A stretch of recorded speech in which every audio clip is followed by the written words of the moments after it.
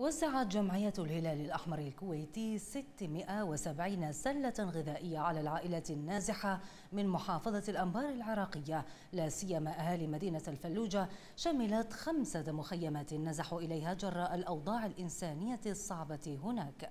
نائب رئيس الجمعية أنور الحساوي أشار إلى أن سكان مدينة الفلوجة بحاجة ماسة للمساعدة الإنسانية والعون العاجل قبل أن يتحول هذا الموقف إلى كارثة إنسانية مؤكدا أن المساعدات المقررة والبالغة نحو 21 ألف كرتون ستوزع مباشرة على النازحين وذلك في إطار الخدمة الإنسانية التي تقدمها الجمعية والهادفة إلى التخفيف من معاناة النازحين وتوفير احتياجاتهم المعيشية.